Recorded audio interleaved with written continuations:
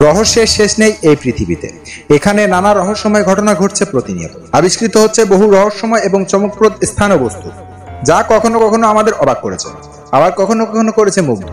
প্রাকৃতিক আশ্চর্যজনক এসব ঘটনা কোনো কোনোটার ব্যাখ্যা খুঁজে পেয়েছি আমরা।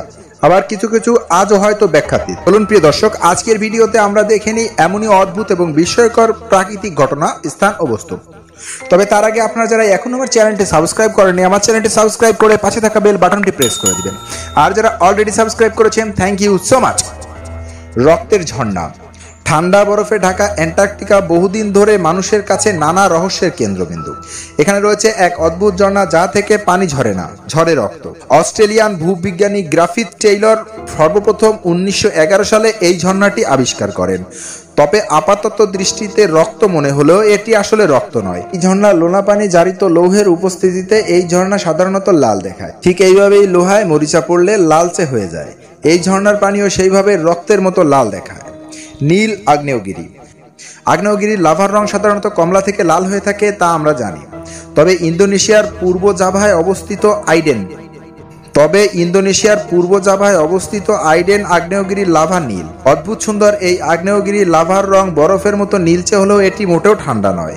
ব্যতিক্রমধর্মী এই আগ্নেয়গিরিতে প্রায় তিনশো ষাট ডিগ্রি সেলসিয়াস তাপমাত্রায় সালফিউরিক গ্যাসের দহন হচ্ছে সবসময়। আর এই গ্যাসগুলো বাতাসের সংস্পর্শে এসেই এই নীল কালার ধারণ করেছে। ঠিক যেমন আগুন আমরা দেখি আমাদের বাসায় গ্যাসের চুলায়। জীবিত পাথর। দেখে মনে হবে এটি পাথর, কিন্তু পাথর কি কখনো জীবিত হয়? ভূত এই পাথরটি মাছ থেকে কাটলে দেখা যাবে বেরোয় আসছে রক্ত। দেখলে পাথরের মতো মনে হলেও এটি আসলে একটি সামুদ্রিক প্রাণী। পেরু এবং চিলিতে এই জীবন্ত পাথর দেখতে পাওয়া যায়। মজাদার স্বাদের কারণে স্থানীয় মানুষদের কাছে খুবই প্রিয় খাবার এটি। সমুদ্রের তলদেশে ফিল্টার হিসেবে কাজ করে এই সামুদ্রিক প্রাণীটি। শুধু তাই নয়, এই প্রাণীর রক্তে পাওয়া যায় দুর্লভ ভ্যানাডিয়াম ধাতু, কেরালায় রক্ত বৃষ্টি দুই হাজার এক সালে ভারতের দক্ষিণ রাজ্যে কেরালায় ঘটে এক অদ্ভুত ঘটনা। আকাশ থেকে নেমে আসে বৃষ্টি, তবে এই বৃষ্টির রং সাধারণত লাল। ঠিক রক্তের মতো।